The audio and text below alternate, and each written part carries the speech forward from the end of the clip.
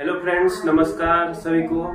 और आज मैं, शेखर पीटर टॉपिक स्टडी में आपका स्वागत करता हूँ। आज मैं बात करने वाला हूँ आईटीओटी लखनऊ के बारे में। आईटीओटी लखनऊ के बारे में आपको पता होगा कि फाइनल एडमिशन यहाँ पे स्टार्ट हो चुका है। तो जिन्होंने भी प्रोविजनल एडमिशन ले रखा है, उनसे यही कहूँगा कि अगर आपको फाइनल एडमिशन लेना है तो आप आई जा सकते हैं। और जिन्हों, जो अभी अभी परेशान नहीं होंगे, क्योंकि डेट ऑफिशियल भी शो होगा। लेकिन जो लेना चाहे फाइनल एडमिशन जाके ले सकते हैं। नोटिस बोर्ड जो है ये नोटिस आपको दिख रहा होगा, अभी क्लियर में जूम आउट कर दूँगा तो ये नोटिस कहाँ का है? तो आई टी लखनऊ के नोटिस बोर्ड पे लगा हुआ है एडमिशन फाइनल एडमिशन के लिए कौन कौन से डॉक्यूमेंट लगेंगे? वहाँ कौन कौन सी ट्रेडें हैं? हॉस्टल लेने के लिए क्या करना पड़ेगा? और रही बात हॉस्टल किसे मिलेगा या नहीं मिलेगा, सभी के मन में डाउट होता है। और आई लखनऊ में एक डाउट ये भी होता है कि यहाँ गर्ल्स हॉस्टल है कि नहीं? क्योंकि आप जब इसका पीडीएफ वगैरह देखते हैं प्रोस्पेक्टस एडमिशन का तो उसमें नहीं लिखा रहता है। तो सभी के बारे में डिटेल से बताऊँगा। और भी आपके जो कमेंट वगैरह रहेंगे वीडियो के बाद कर लीजिएगा, उसके बाद भी बता दिया जाएगा।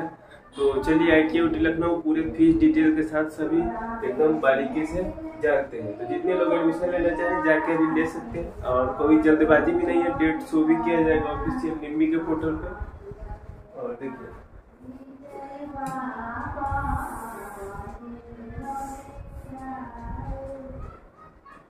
यहाँ पे जो है दिख रहा होगा आपको, या मैं बोल दे रहा हूँ, यहाँ पे कुल दस ट्रेडे हैं। एक, दो, तीन। पहले ट्रेड की हम बात कर ले इलेक्ट्रीशियन है, जिनका एडमिशन होगा 101 नंबर रूम में। 101 नंबर रूम में जो कि क्या है फ़र्स्ट फ्लोर पे। यहाँ प्रथम तल लिखा हुआ है फ़र्स्ट फ्लोर पे है आई टी के विद्यालय आर वालों का हो गया आर आर वालों का कितना रूम नंबर रूम नंबर 103 जो कि ये भी क्या है फ़र्स्ट फ्लोर पे। जितने एडमिशन चल रहे हैं, सभी इस बार फ़र्स्ट फ्लोर पे ही चल रहे हैं। कॉलेज के अंदर जाना है आपको फ़र्स्ट फ्लोर में चले जाना है।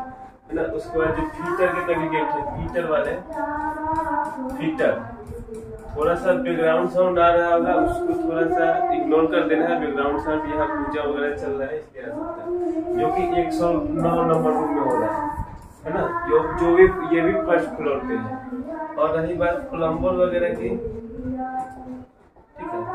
और प्लम्बर प्लम्बर वगैरह सब इस बार से सब पढ़ा हुआ है, वो भी प्लम्बर और फिटर दोनों एक सौ नौ में। प्लम्बर और फिटर कितना में दोनों एक सौ नौ नंबर में हो रहा है। कॉस्मेटोलॉजी एक सौ दस नंबर सब फ़र्स्ट फ्लोर पे ही है। टोटल जो है, वो प्रथम तल लिखा गया है। यानी कि फ़र्स्ट फ्लोर प्रथम तल। प्रथम सभी फ़र्स्ट फ्लोर पे एडमिशन हो रहा है। इलेक्ट्रॉनिक मैकेनिक क्या है? ये मुख्य कॉन्फ्रेंस हॉल पे है। देखिए आई लखनऊ जाइएगा तो वहाँ पे एक मिनी कॉन्फ्रेंस हॉल है। और एक मुख्य कॉन्फ्रेंस हॉल है। सभी फ़र्स्ट फ्लोर पे आप जाइएगा तो पता चल जाएगा। या फिर जैसे ही कॉलेज में आप एंट्री करते हैं तो वहाँ के गार्ड होते हैं आपको खुद गाइड कर देंगे ट्रेड पूछ के। टर्नर वालों का है टर्नर वालों का भी मुख्य कॉन्फ्रेंस हॉल में ही है। और computer software application mini conference hall और सिविंग टेक्नोलॉजी का भी है मिनी मिनी कॉन्फ्रेंस हॉल और जिन लोगों को भी हॉस्टल चाहिए, मैं फ़ीस भी बता दूँगा, आप लोग वीडियो को ध्यान से देखते रहना। देखिए, छात्रावास महिला के लिए महिला छात्रावास कक्षा आठ आपको महिला छात्रावास कॉलेज, इस तरफ़ है कॉलेज के राइट साइड में जो बिल्डिंग दिखेगा, वही महिला छात्रावास है। और जो पुरुष का छात्रावास है, वो जैसे ही आप बाहर के गेट से इंटर करते हैं तो वहाँ के राइट साइड से दिखेगा तो आपको जो है वो दिख जाएगा, है ना? और सबसे पहले अगर आप वहाँ जाना चाहते हैं तो कहीं से भी आप चार बाग उतरिए। चार बाग उतरने के बाद आप वहाँ से बाहर निकलिएगा। तो वहाँ से बोलिएगा कि अलीगंज है। अलीगंज अलीगंज वो लोग बैठा रहे होंगे। तो अलीगंज बोल के आपको आईटीआई के पास नहीं चला आई कोई नहीं बताएगा। देखिए मेरे माइंड में भी नाम नहीं याद आ रहा है, मैं बता दूँगा अभी। है ना? ऐसा नहीं कि बताना नहीं है आपको क्या बोलना है बता दूँगा।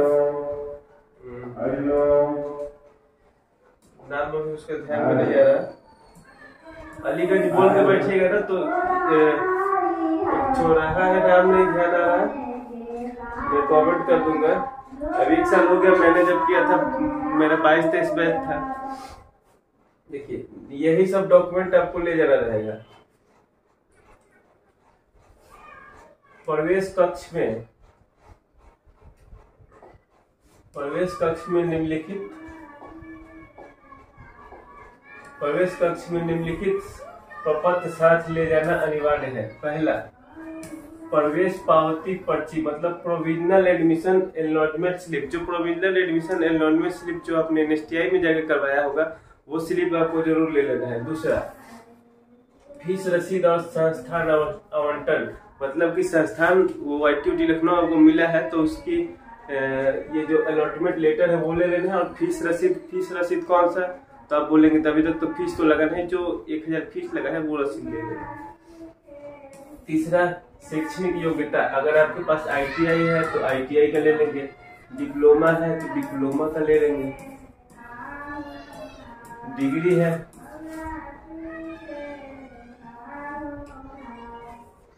डिग्री वाले, डिग्री का अपना डिप्लोमा डिग्री वाले, डिग्री वाला अपना ले लेंगे।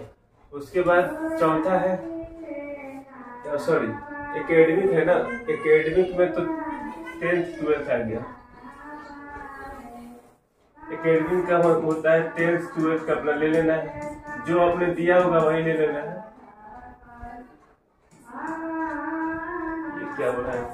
टेंथ ट्वेल्थ ले लेना है। और टेक्निकल में हो जाता है आपका आईटीआई और डिप्लोमा और डिग्री इसको ले लेना है। टेक्निकल वाले में जो भी आपके पास क्वालिफिकेशन हो, उसको ले लीजिए। अब पांचवा है कम्युनिटी या ईडब्ल्यू e मतलब कि जाति प्रमाण पत्र आपको ले लेना है। सेंटर का ले लीजिएगा, कोई दिक्कत नहीं है। और एड्रेस प्रूफ सर्टिफिकेट इस बार जो है निवास प्रमाण पत्र मांगा गया है। तो अपना निवास प्रमाण पत्र ले लीजिएगा। और देखिए, आधार कार्ड ले लेना है मेडिकल फिटनेस सर्टिफिकेट आपको ले लेना है। बहुत से छात्र जो प्रोविजनल में ही परेशान थे, मैंने बता रखा था कि प्रोविजनल एडमिशन में आपको जो मेडिकल नहीं लगता है, आपका लगा भी नहीं होगा। ठीक है? और नवा है पासपोर्ट साइज़ फ़ोटो चार तो चार लिखा है, आप ले जाइए। ठीक, कोई दिक्कत नहीं है। और टीसी क्योंकि जो लोग हॉस्टल लेते हैं, उनका फ़ोटो ज़्यादा लगता है।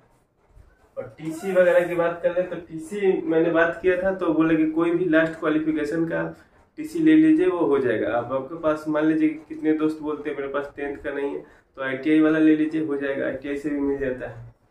तो आपका काम जो है, वो हो जाएगा। अब फ़ीस के बारे में हम बात कर लेते हैं।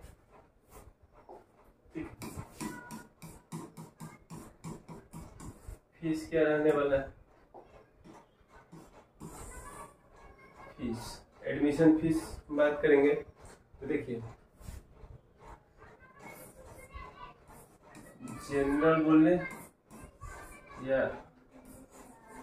ओबीसी का बोले एडमिशन फ़ीस जो एडमिशन फ़ीस होता है, वो है अट्ठाईस सौ रुपये अट्ठाईस सौ रुपये फ़ीस है। ये जो मैं फ़ीस बता रहा हूँ, ये पिछले साल का है। इस साल का कोई अपडेट अभी फ़िलहाल नहीं मिल पाया है। अगर मिल जाएगा तो वीडियो आ जाएगा। ये कब का है? पिछले साल का जो भी फ़ीस बता रहा हूँ इससे थोड़ा बहुत अंतर आएगा, बढ़ सकता है, लेकिन कम नहीं होगा। एडमिशन फ़ीस जनरल ओबीसी का अठाईस सौ पचास रूपए है। एस सी एस टी का बात कर लें।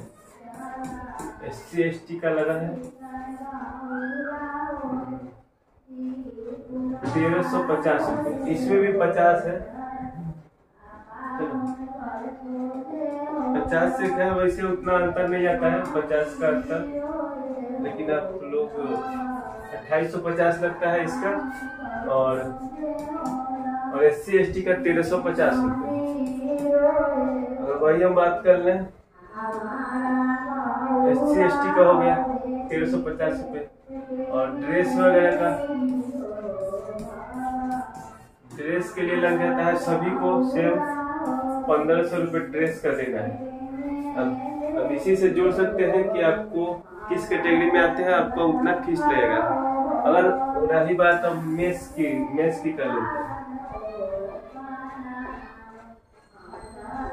Mess fees. मेस फ़ीस सबका सेम लगने वाला है। मेस फ़ीस देखिए इस पिछले साल से बढ़ गया है। मेरे टाइम में जब था तो उस टाइम पैंतीस सौ लगता था, जिसमें कि एक बार में चार मंथ का जमा करना पड़ता था। एडमिशन के टाइम में चार मंथ का। लेकिन जो तेईस, बाईस से तेईस से चौबीस बैच चला था। तेईस, चौबीस बैच पे ये मेस फ़ीस हो गया अड़तीस सौ रुपये अड़तीस सौ रुपये हुआ और उसके बाद एक ही बार में एडमिशन के टाइम में आपको छह महीने का जमा करना पड़ेगा। छह महीने का जोड़ लीजिए, आठ छः पैंतालीस, चार चार, तीन छः अठारह अठारह, चार बाईस। तो बाईस हज़ार आठ सौ रुपये मल्टीप्लाई कर लीजिएगा। बाईस हज़ार आठ सौ रुपये एक बार आपको देने पड़ेंगे, अगर आप हॉस्टल लेते हैं तो। हॉस्टल लेते हैं तो ये तो केवल मेस पर का फ़ीस हो गया। और हॉस्टल का फ़ीस देखिए कितना है। हॉस्टल फ़ीस हॉस्टल फ़ीस की बात करें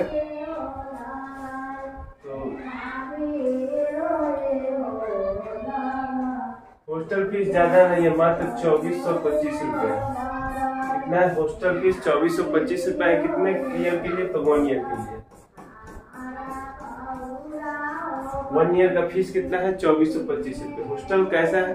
तो जो बॉयज़ हॉस्टल है, एकदम मस्त है टाइल्स वाइस लगा हुआ है सबके रूम में सेपरेट बाथरूम वगैरह सब सेम है। सेपरेट सेपरेट है। गर्ल्स हॉस्टल है। अगर हम गर्ल्स की बात कर ले